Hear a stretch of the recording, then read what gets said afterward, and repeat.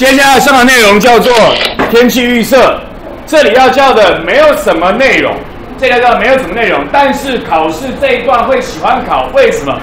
因为马上就会知道我要做天气预测，我必须要画地面天气图，然后把图画完之后，我就会问你一坨拉苦以前所学过的东西，高压还低压，上升还下沉，晴朗还是阴雨，风向怎么吹，哪边温度高，哪边温度低，哪边压力大，哪边压力小，全部都是看图就会知道的事，都是以前学过的事情，所以会喜欢问。我们基于我们生活的需要，我们希望能够知道天气是怎样。明天要出去玩，我希望好天气。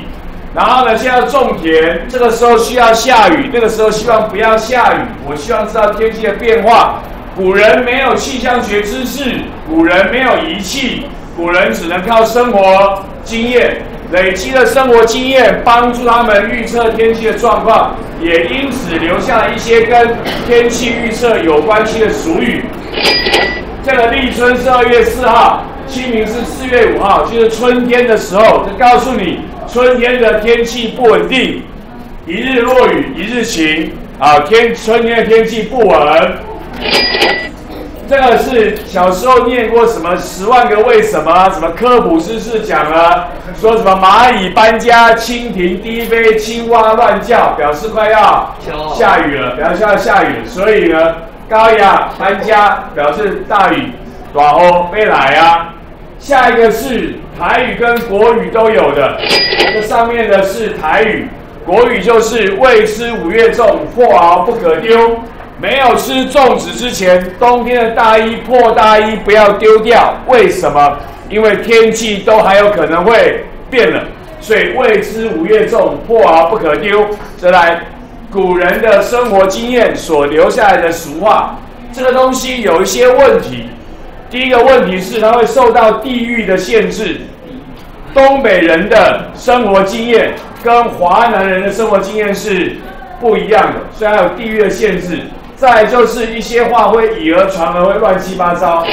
比如说，什么台风草有几个折痕，就表示会有几个台风，基本上是胡说八道，完全没有根据。所以这种根据生活经验所累积的东西，会受到地域的不同而会有所不同，还会有以讹传讹问题。当然，现在我们不是这样做的，我们现在有所谓的科学知识。我们有仪器帮我们收集资料，然后综合研判，我们就可以帮我们预测天气，包括天空状况、云量有多少，那最高温、最低温，明天会不会下雨，就大概这样子。我们有一些仪器来帮我们，然后我们就简单的介绍一个。第一个呢是最基本的东西，叫做观测屏。啊，各不同观测品来帮我们收集，包括温度的高低，包括蒸发，包括降雨，包括日照的情况，然后把这些资料送给气象局，来帮我们画出地面天气图。这就是观测品。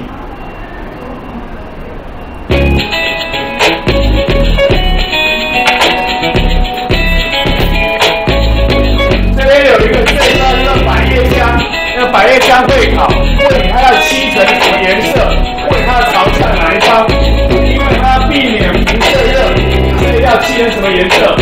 因为它要避免阳光直射，所以要朝向哪一方？然后呢，就有量最高温跟最低温，然后有所谓的温度计，量温度的干湿球跟所谓的湿度有关，以后高中会教啊，记录连续的温度，这是算蒸发的。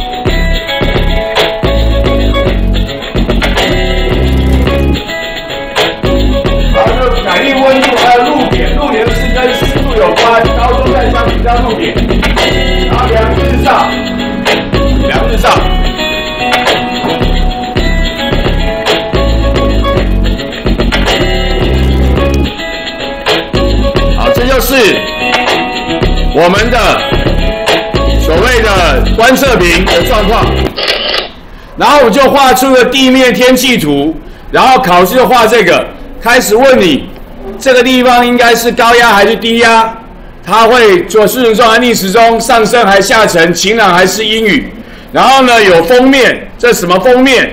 然后哪边温度高，哪边温度低？有等压线，问你谁的压力大，问你的风向什么什么风，然后呢诸如此类的就可以考你。所以我们用地面天图来考你一拖拉苦的东西，OK。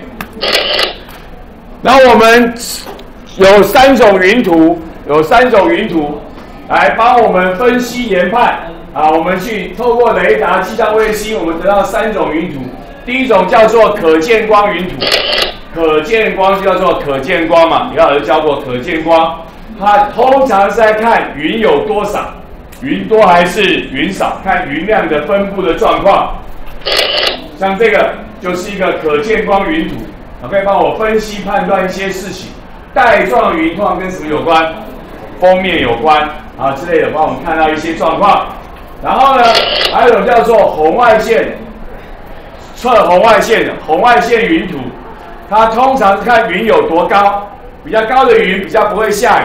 比较高云比较不会下雨多高，红外线云图有多一个好处，晚上可以拍，晚上没有可见光，晚上没有可见光，可是可以有拍出红外线云图。还有叫做雷达回波图，雷达回波图是要看水汽量，水汽的含量。然后呢，你这里的水汽多，没有百分百，但是你可以大致上猜这里的水汽多，所以它雨量会比较。比较多一点，所以这个是纳利台风的红外线云图，纳利台湾的红外线云图，啊，它应该是没颜色的，可是有人会把它弄上一些电脑的颜色，它看起来比较美丽大方一点。OK，应该是没颜色。啊，再来就是回雷达回波图，你通常在什么时候会看到像你翻张图出来？下过大雨之后，下过大雨之后，像你看把这张图搬出来给你看。来看到哦，红红的表示水汽多，你就可以猜这里的雨量会比较大一点，雨量会比较大一点，所以你可以看得出来，可以大家让你猜一下雨量分布状况，叫做雷达回波图。所以就请你第一个我说过，百叶箱有人会考，漆成什么颜色，面朝哪一方，这我们以前都教过，地科教过，理化教过。然后呢，注意我们有三种云图，其中有一个叫做雷达回波图。是干嘛用的？是来测水气量用的，是来量水汽用的。就是我们跟各位介绍一下观测屏，介绍一下三种的云图。OK。